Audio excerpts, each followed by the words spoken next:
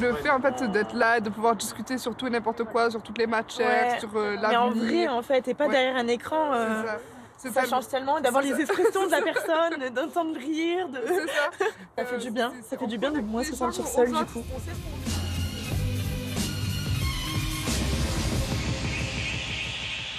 Merci d'être au rendez-vous. Bienvenue dans 13h15 au sommaire. Partons une nouvelle fois à la rencontre des Français avec aujourd'hui une génération qui forcément s'interroge sur son avenir. Les étudiants de l'épidémie garderont en eux cette séquence qui les aura privés des bancs de la faculté, de ces échanges qui font le sel de ces étapes de la vie. Nous sommes allés à la rencontre, à leur rencontre. Comment se sont-ils organisés? Comment maintenir le lien? Les espoirs de reprise, la solidarité qui s'organise Direction l'université d'Aix-Marseille, chronique d'une époque, de ses déceptions et de ses espoirs, avec Thibaut Pomarès, Laura Lecartier, Clément Voyer et Cyril Za.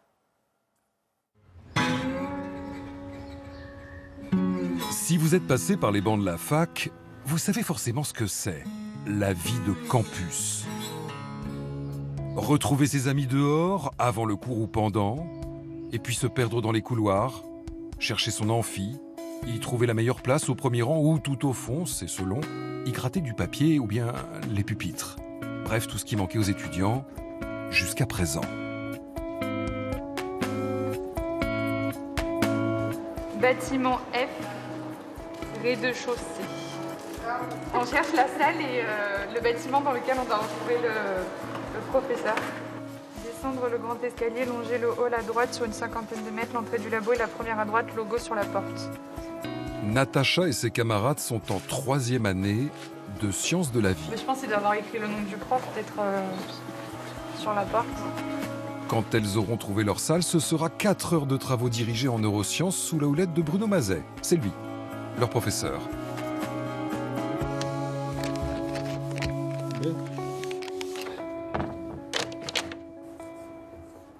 C'est un peu une- la rentrée pour vous, euh, Un peu. étudiants. Exactement.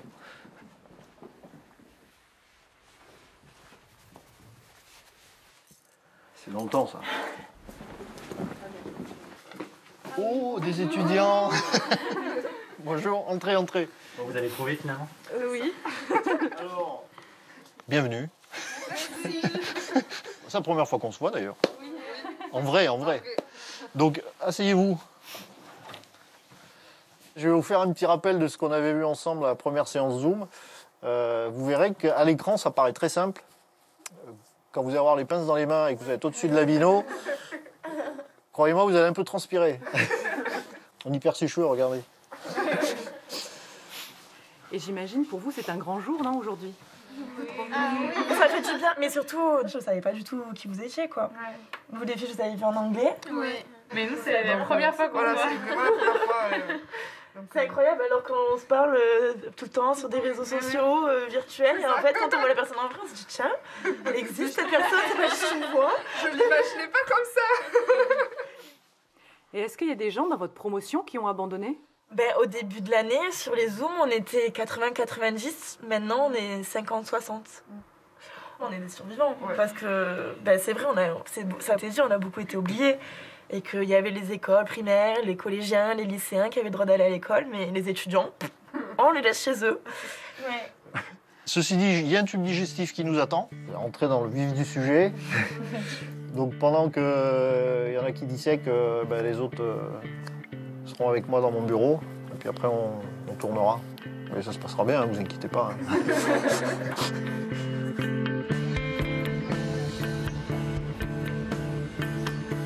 Joao n'a pas la même chance que Natacha et ses amis. C'est sa première année de fac. Et pour l'instant, elle se déroule via Internet, dans les 9 mètres carrés de la chambre de sa résidence étudiante.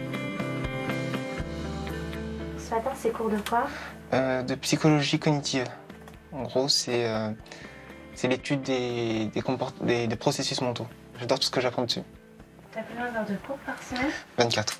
Donc 24 heures devant l'ordinateur. C'est ça, 24 heures dans l'ordinateur, minimum. Parce que derrière aussi, il faudra travailler les cours. Pourquoi ça marche pas?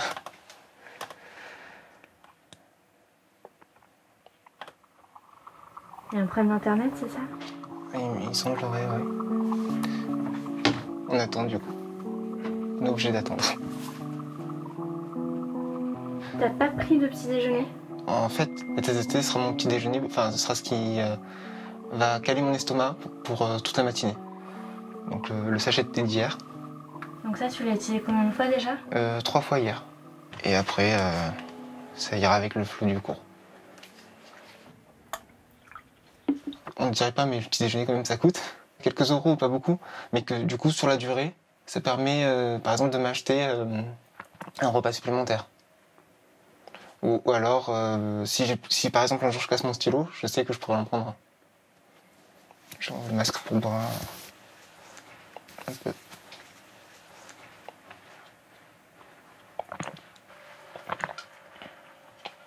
Apparemment, euh, je suis désolé, mais il semble qu'il y ait un problème sur l'application. J'annule donc le cours.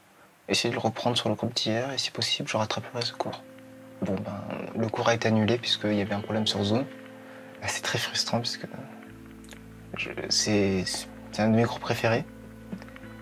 Et euh, j'aurais vraiment voulu le suivre. Pour tous ceux qui, comme Joao, sont isolés et dont les ressources sont limitées, la solidarité s'est organisée. Préparer des colis avec l'indispensable, l'essentiel, de quoi tenir une semaine ou deux.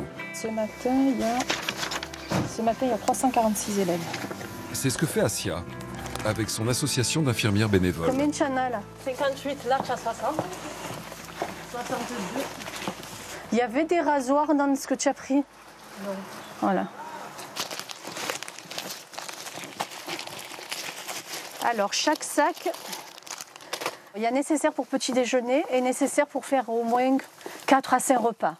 Il n'y a pas que le ventre. Donc, par ici, nous allons retrouver tout ce qui est produit d'hygiène et qui est coûteux pour un étudiant, à savoir tout ce qui est serviettes hygi- hygiéniques, tout ce qui est shampoing, savon. On a même réussi à avoir de la lessive.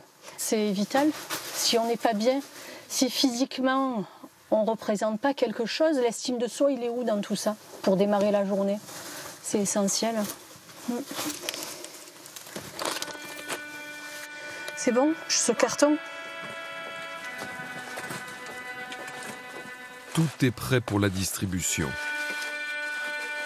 Direction l'université d'Aix-Marseille.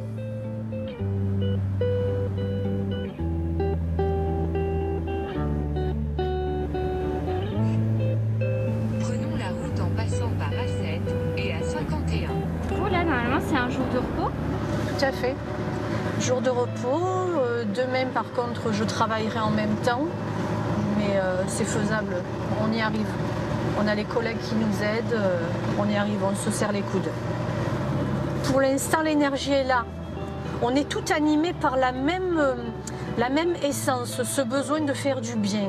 Déjà, la- la fonction en elle-même d'infirmière, c'est venir en aide. Moi, je suis un 4x4. Je suis là, tout terrain. Pour l'instant, je tiens.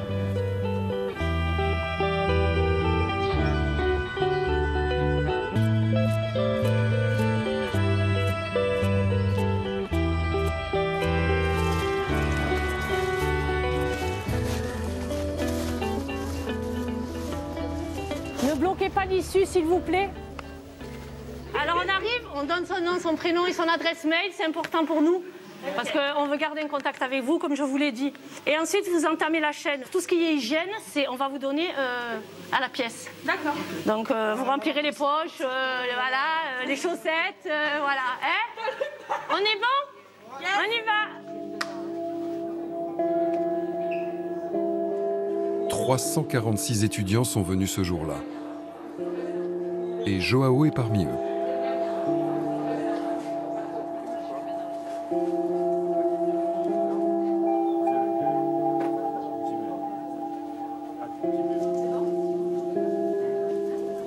Ça vous fait quoi d'avoir ce soutien Ça fait du bien, savoir que bah, on peut avoir un soutien quelque part en fait, qu'on n'est pas seul. Ça vous manquait ça? Un peu oui, et ben, avec le confinement on n'a pas vraiment eu beaucoup d'interactions humaines, euh, ça aide un peu de savoir qu'on n'est pas, qu'on n'est pas vraiment isolé, qu'il y a des, des groupes qui sont là pour nous en fait, pour nous aider.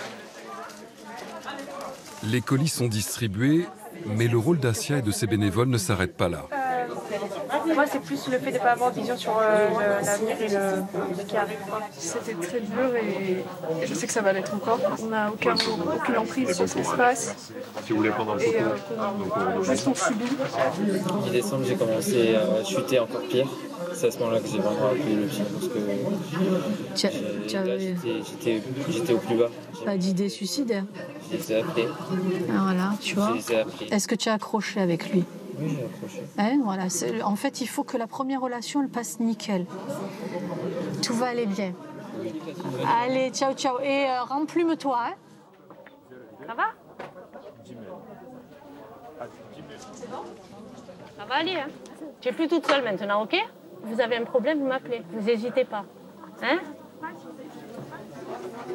De voir des jeunes de l'âge de mes enfants euh, pas faire face et répondre que ils sont malades et ils sont seuls. C'est terrible hein. et je me dis que mes enfants ont de la chance, beaucoup de chance.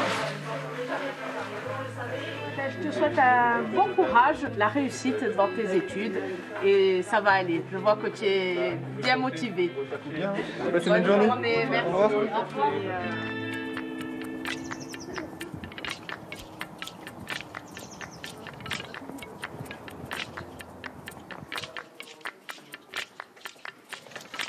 Le budget de Joao, 450 euros par mois, dont 260 pour le loyer de sa chambre.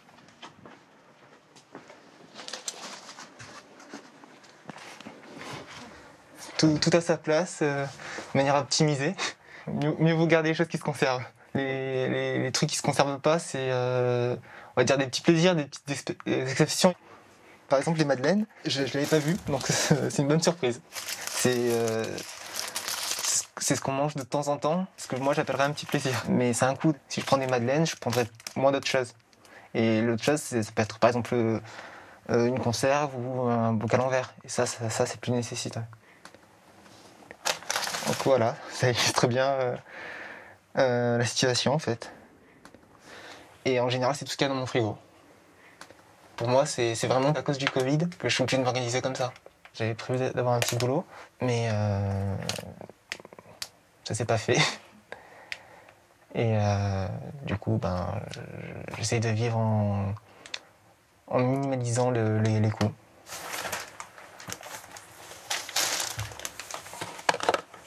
T'es boursier, t'as un petit peu euh, d'aide de tes parents, comment ça se passe? Euh, je, je suis boursier, je suis au plus bas échelon, donc j'ai 100 euros tous les mois.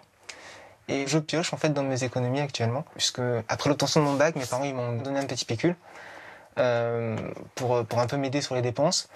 Et je pensais que ça me servirait euh, sur plusieurs années de fac, mais en fait, euh, ça, ça serait du plus sur euh, le, semestre et le deuxième semestre. C'est vraiment cette année-là. Sans ça, j'aurais été vraiment dans une situation encore plus euh, précaire.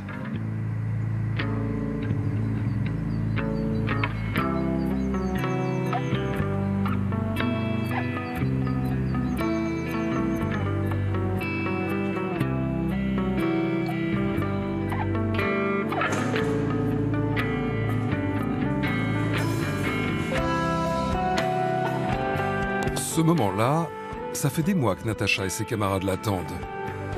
L'examen d'un tube digestif de souris. Eh oui. ça, sert, ça sert un peu, ça.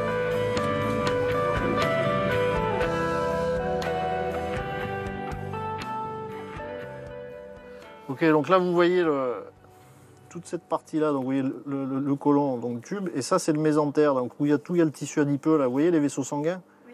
Donc ça c'est le mésentère. Suivant. Ah oui, on voit bien les, enfin, les différentes couches. C'est clair là, c'est bon? C'est- Ouais. C'est c'est au point? Oui, oui. Alors les premières impressions? C'est hyper compliqué. Enfin, c'est super précis.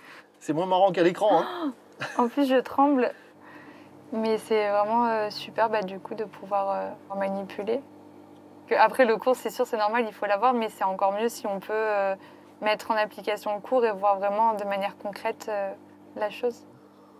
C'est ce que j'appelle les vraies conditions de travail. On a la réponse directe et. euh, Sans appuyer sur la barre espace.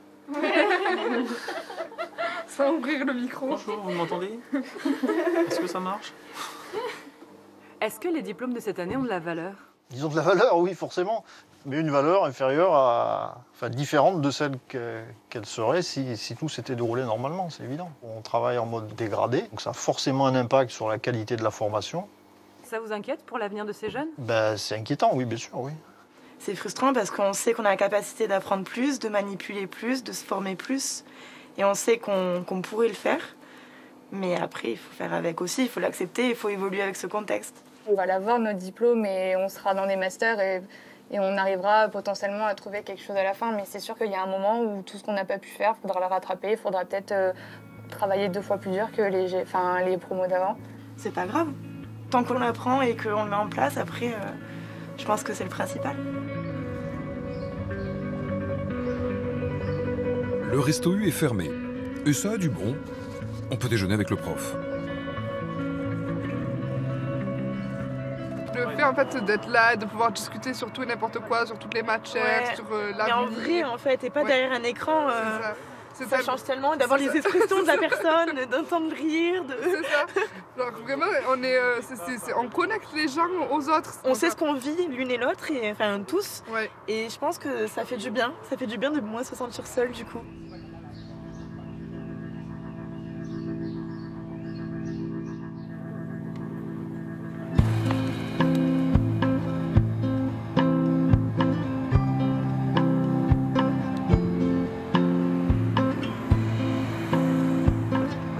La distribution de colis achevée, Asia n'a pas traîné.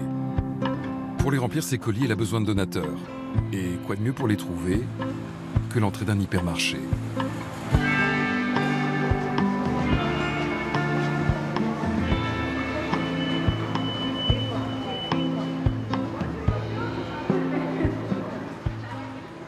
Laisse arriver, les filles, parce que c'est comme si on leur sautait dessus. Si tu te demandes qu'est-ce que vous préférez, si vous avez des préférences, voilà, lait, produits d'hygiène, huile. Voilà. Dès qu'ils sont à notre niveau, on saute. Bonjour madame. On est infirmière libérale. En fait, on fait une action solidaire pour les étudiants en précarité. Du coup, eh ben, on est là sur nos jours de repos. Donc, si vous voulez participer, on prend. Ça leur permet d'un peu se nourrir.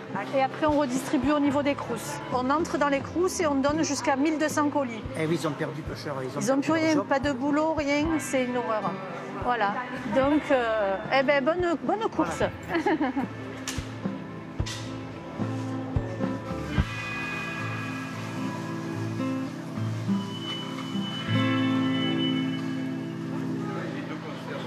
Super, merci beaucoup monsieur. Merci, au revoir, merci. Ça se remplit, euh, ça commence à bien se remplir. Ça commence, c'est les débuts. C'est les débuts. On espère qu'ils seront bien, bien, bien pleins. Si on réussit aujourd'hui à faire euh, six chariots, ça serait bien. Voilà. On reste modeste parce que ça va avec la modestie de la population. Merci, c'est gentil. J'ai pris au hasard, hein, je sais pas. hein. C'est- bon Oui, oui, oui, c'est très bien, merci beaucoup. Si chacun faisait un petit quelque chose. Ça vous Moi, touche, vous, personnellement Oui, oui, oui. oui. J'ai eu des enfants étudiants, donc euh, on est passé par là. Et de les voir actuellement en difficulté, vraiment, c'est un crève-cœur. On aide avec nos petits moyens. Merci, Allez, bon courage. Super, des légumes, c'est bien. légumes, ça. Merci beaucoup. C'est ça. Ah, génial. Ah, super. Ça aide. Merci Allez. beaucoup.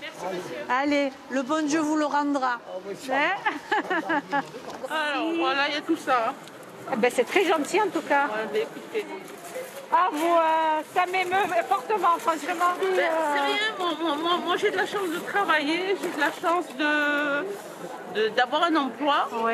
Et si on peut donner, on donne. hein. Ben, écoutez, ça nous réconforte, l'humain existe Il encore. faut, il faut aider, c'est l'avenir de demain. Ah, ça, hein. les étudiants sont l'avenir de demain. Voilà, ça, c'est voilà, certain. c'est l'avenir de demain. Ça me fait plaisir, franchement, ça me fait, ça me fait Merci plaisir. beaucoup. Faites attention, ça c'est lourd. Oh, voilà. Merci. Bon courage. Ça marche? Ça marche. Voilà, hein, en deux heures, on a déjà rempli euh, un chariot là-bas et puis ceci presque plein. Ça va, moi je suis contente. Merci beaucoup, monsieur. Merci, bonne journée.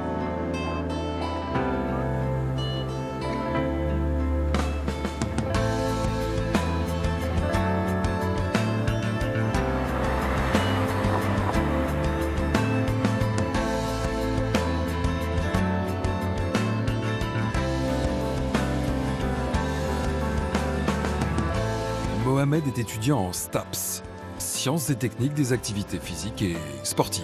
Le sport, c'est toute ma vie. Le jour où je fais pas de sport, je me sens pas bien. Ça me libère, ça enlève le stress, la dépression, l'angoisse.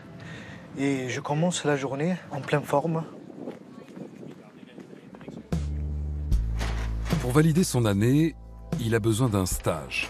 Et après sept mois de recherche, il l'a trouvé. Enfin, chez Stéphane. Dans cette association sportive dédiée aux personnes en situation de handicap.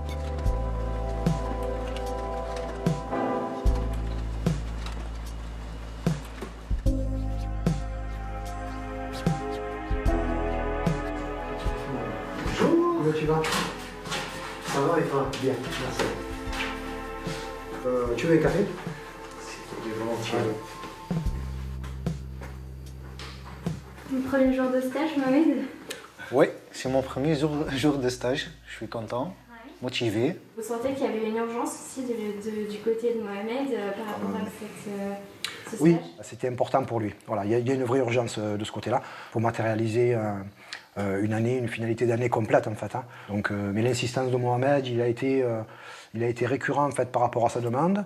Évidemment, des fois les stagiaires le font un petit peu, euh, un, tout petit peu à la légère. C'était pas son cas et ça m'a bien plu. Donc euh, voilà, j'ai rebondi tout de suite sur la, sur l'envie en fait. Je vous montre sur mon téléphone. Voilà, vous voyez, ça c'est tous les emails que j'ai envoyés à la recherche d'un stage. Et c'était euh, tous des, des refus. Ça m'a mis l'angoisse. Vous avez senti quoi à ce moment-là? J'ai pas de chance, tout simplement.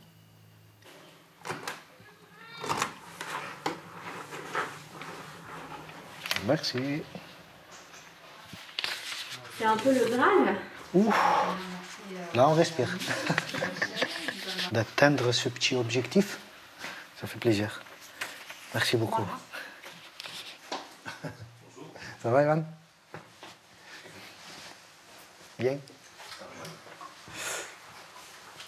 Euh, donc il y a le matériel à côté, va voir avec Mohamed, il sait où il est. Tu prends ce que tu as envie de prendre dans la caisse. Alors, arrivé sur place 13h, après on a une heure pour voir un petit peu. Moi, ça me permet de voir comment il s'organise là-bas. On va regarder quand on va faire la mise en place et tout. euh, On peut inventer un exercice. euh, Ouais, ouais, ouais. Comme ça. Allez, c'est parti.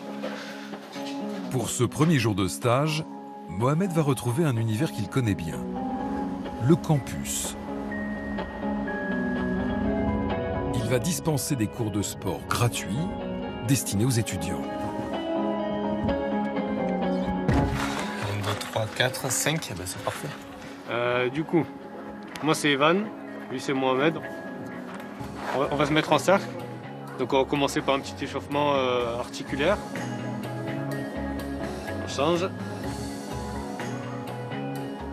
Ensuite on va passer aux chevilles. Ah, ça fait un petit peu craquer. Dans ce sens-là, on va commencer par les élastiques. Je te laisse montrer. Cet exercice consiste en position. Et on travaille juste avec les bras. On respire. Et quand on lâche, on respire.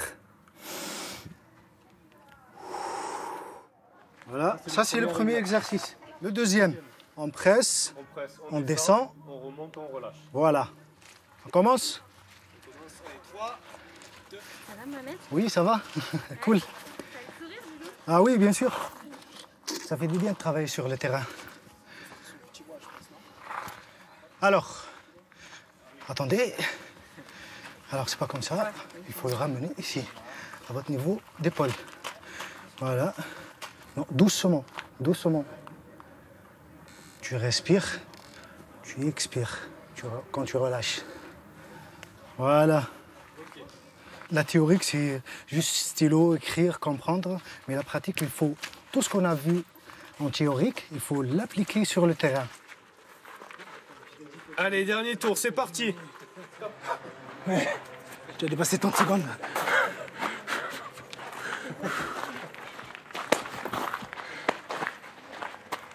Ça va, c'est pas trop dur Non, ça va. C'est vrai que ça fait près, près d'une année qu'on ne va plus à la salle, mais bon, ça nous permet quand même de faire un peu plus. Là, vous le ressentez, là, dans votre corps Effectivement, une année, c'est c'est assez. Là, j'ai des poumons. euh, Après, les poumons, ils ont perdu l'habitude, tu vois. Même courir un peu le matin, je ne faisais plus. Merci d'avoir participé. Pour tout vous dire, c'est Assia l'infirmière qui a eu l'idée de ces séances de remise en forme. Elles font partie d'une journée bien-être sur le campus. Deuxième étage, coiffeuse, maquilleuse. There is a, like this, maquillage, coiffure, massage, hein, kiné. Allez. Et là, on va où, Asia, du coup? Là, je vais leur présenter le stand de make-up, coiffure. Euh, after, after have. uh, you can speak English? No. C'est difficile, hein? Il y a beaucoup d'étudiants étrangers, c'est Énormément, ouais. Donc l'isolement d'autant plus important. Voilà. Allez, maquillage. Allez, come on. Allez, venez.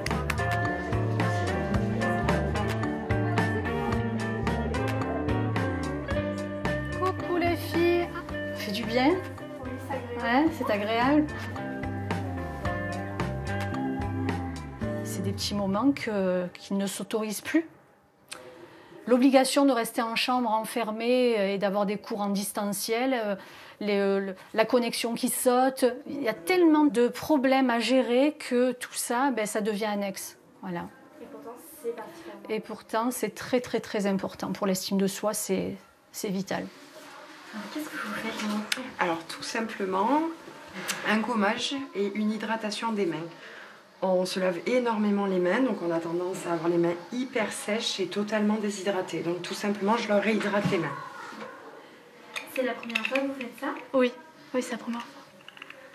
Et puis là, euh, enfin, avec tout ce qui est ordinateur et, et tout ça, c'est, euh, ça nous. Enfin, nos mains, elles sont un peu contractées. Du coup, là, ça nous détend et ça. Ça nous soulage. Donc là, il y a tout qui part. Voilà, c'est ça. Aujourd'hui, j'oublie tout. Puis là, c'est un peu une journée euh, juste pour nous, quoi. Pour les soins des ongles, ça a changé. Comme il n'y a plus d'électricité dans la salle, tu descendras à la salle kiné au rez-de-chaussée. Elle t'attend là-bas. D'accord?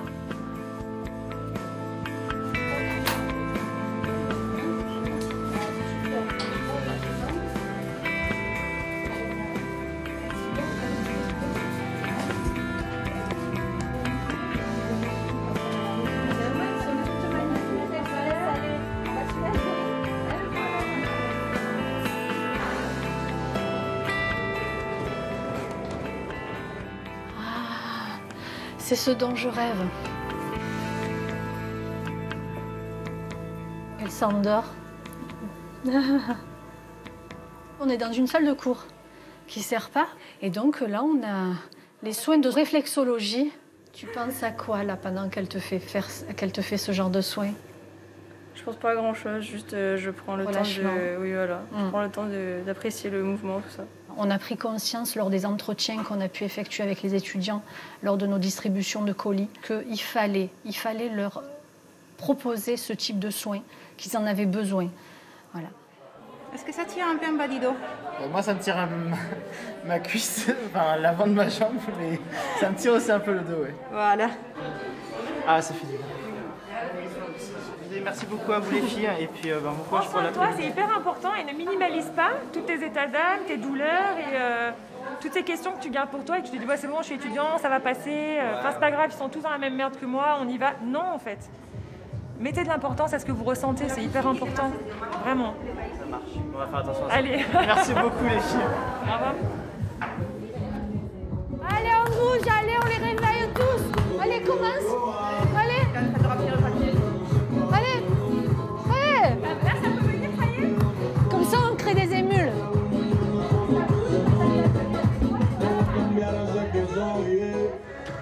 De cette journée.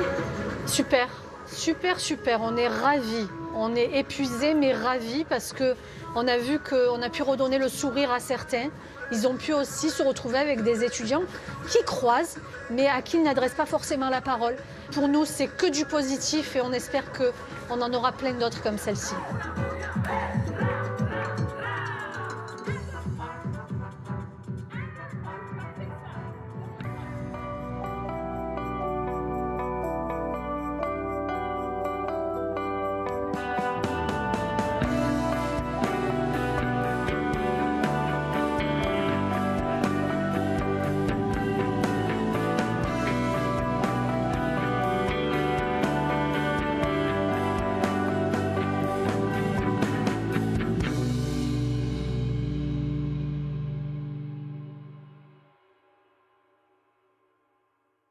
Voilà pour cette plongée au cœur de la vie étudiante, ses sourires et ses espoirs. Bon courage à tous. On se retrouve ce soir à 20h pour toute l'actualité. Et puis bien sûr le rugby, le tournoi destination, France-Galles. Et tout de suite, vous retrouverez Marie Drucker pour son magazine de faits divers au bout de l'enquête.